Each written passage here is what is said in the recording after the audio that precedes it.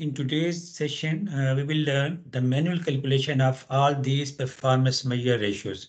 Uh, we have the quarterly data of fund prices, index prices, as well as risk-free rate is per annum. The first we will convert these risk-free rate into quarterly risk-free rate, dividing it by four. After that, we calculate portfolio or fund return with the help of this formula means ending price plus dividend distribution plus capital distribution minus beginning price divided by beginning price. Here, as we don't have uh, uh, capital distribution and dividend distribution, just we will uh, use ending price minus beginning price divided beginning divided by beginning um, and its reduced form is just ending divided by beginning minus one. So ending price of fund divided by beginning price of fund minus one. The same formula can be applied for market return as well. Now, as in, uh, you can see that in the Treynor ratio, we need uh, beta to calculate and we need uh, here we have another measure of Jensen alpha. Here is this is the formula for Jensen alpha. Uh, we uh, again apply capital asset pricing model. So to get Jensen alpha and beta, we need excess portfolio return as well as excess market return. So First, we fund return minus risk-free rate. Then market return minus risk-free rate. And uh, we copy it for the rest of the cells for all other quarters. Now, uh, to calculate uh, beta, we need xy as well as x square. So we multiplied this x by y. Remember, you will have to do all these calculation with the help of calculator because most of the uh, time in exams questions, uh, you are asked to calculate uh, these performance ratios manually. So now take uh, square of x and then copy it down.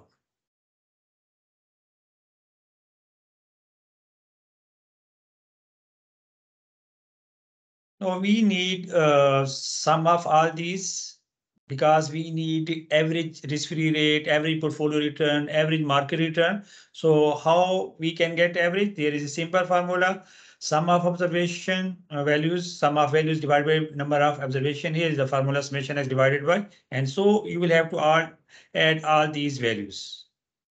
First, we will sum it with the help of calculator and then we will sum all these columns. Now to get the average, we divide this sum by number of observation. Here we have four number of observation. So these are averages, average of risk-free rate, average of portfolio return, and average of market return. Now to get the beta, uh, we apply this formula, uh, beta that is n summation xy minus summation x into summation y divided by n summation x square minus summation x whole square. So in numerator, uh, we have number of observation 4 that is multiplied by summation xy minus summation x into summation y.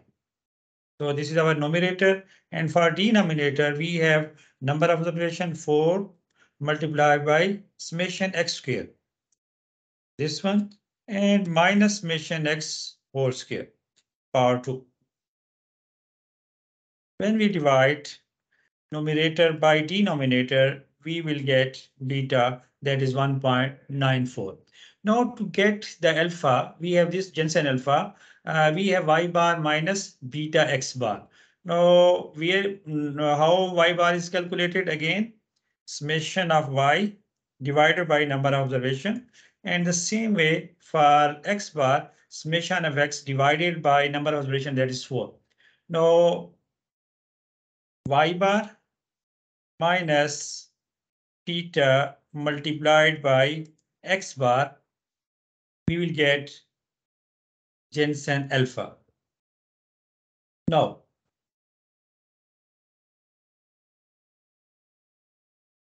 what uh, uh, another ratios that is uh, Sortino ratio. For Sortino ratio, we need downside risk. So we will penalize only uh, negative returns. And uh, here is the procedure that we will put one if our target, if our portfolio return is less than target return. Here we assume that our target return is risk-free rate. So first of all, we calculate portfolio or fund return minus risk-free rate. And now just copy it down. Here you can see that we have two negative returns. So we will place one in FT column for these two and for other we will put zero. Now we need uh, square of this column as well. Power 2. And then we should multiply these two column RP minus T square divided by FT so that we will get this one. Now we will have to add these values. And then in 10, uh, in sorry, Sortino ratio, we have portfolio, every portfolio return minus every target return divided by downside risk. Uh, so to get this one downside risk, we divide it by number of observation and we will take under root. So equal to this sum divided by number of observation that is 4 raised to power 0.5 to take its under root. So we have calculated downside risk.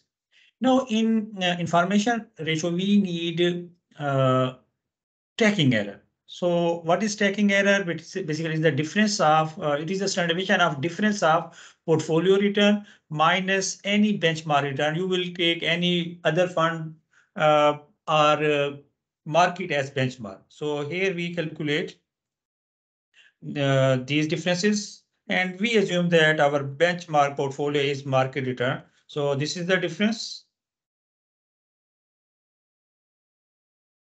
Now we need standard deviation of uh, all these uh, uh, the values of uh, difference of portfolio return and market return.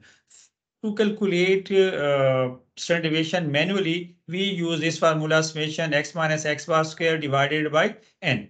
And we also need this standard deviation for Sharpe ratio as well. In Sharpe ratio, you can see that we have every portfolio return minus risk, every risk divided by standard deviation of portfolio.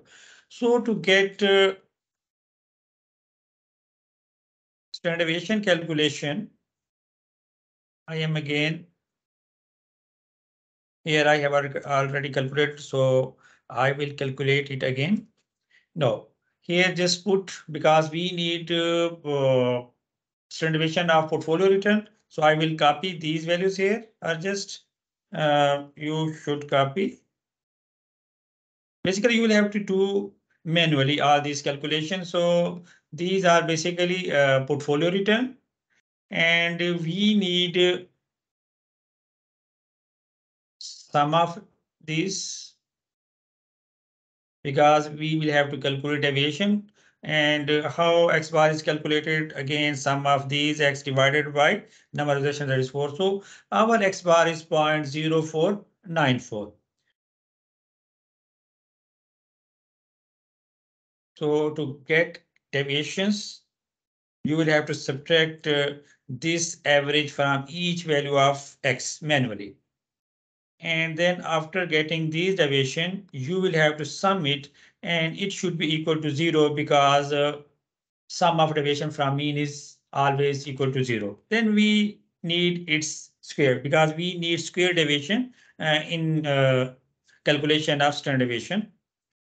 So we have taken its square and we need its sum as well. So we will sum it.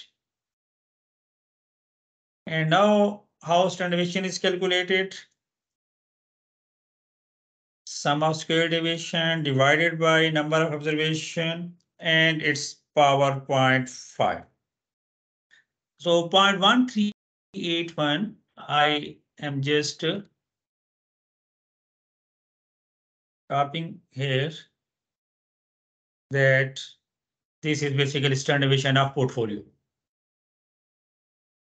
Now I need standard deviation of this uh, the difference of portfolio return and benchmark that is also called uh, tracking error. Uh, in some of the uh, calculation, you will find that it is divided by n minus 1. It is basically as some percent deviation. Anyhow, uh, we will take this data again. You will have to repeat this procedure to get the standard deviation of these value. So this value again you will have to do it manually and you will have to uh, basically calculate standard deviation twice for two different data set. Now here standard deviation is 0.1218.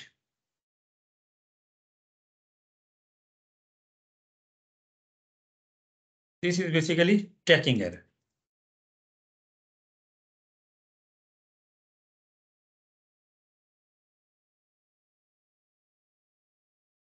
Now, after doing all these calculation, we will make summary. First, average risk-free return, this one. This is our average risk-free rate return. Then average portfolio return. This is our average portfolio return. Then average market return. This is average market return. Then excess portfolio return or it is also called uh, uh, portfolio premium. That is portfolio return minus average risk-free return because it is the numerator in two our ratios, uh, Treynor and uh, in, uh, in Sharpe ratio. Then this is standard deviation of portfolio. We had already calculated it.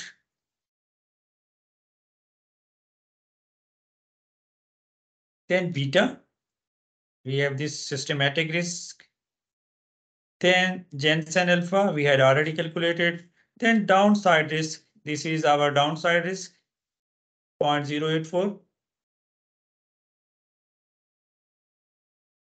And then tracking error, we have this tracking error. Now, after making this summary, then we will calculate these ratios. Basically, all uh, these ratios are calculated manually. I'm just uh, using Excel sheet to explain all these calculation. You will have to do all these calculation manually. Now, in Sharpe ratio, we have numerator like this one, average risk-free rate, uh, sorry, uh, uh, average portfolio return minus average risk-free rate. We have already done it, this one, divided by standard deviation of portfolio. So this is our Sharpe ratio. Then for Treynor,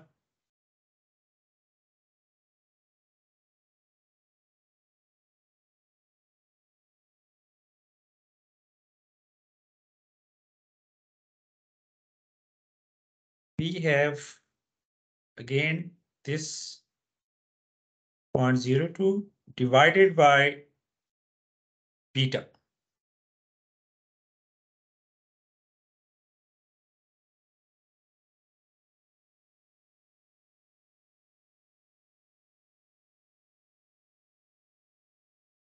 Then just uh, just you'll have to check this average quarterly return. That is okay. Okay. Uh, then Jensen alpha. Then Sortino ratio. In Sortino ratio, the numerator is same because we have taken risk-free rate as the target return divided by downside risk. And then information ratio, in information ratio, average portfolio return minus average benchmark portfolio that was market portfolio divided by uh, tracking error. Just a minute, we will have to check uh, uh, the formula that whether it is okay on C4, yes, it is okay. And is it is also okay. Then some some method. Uh, thank you very much uh, for watching uh, this video.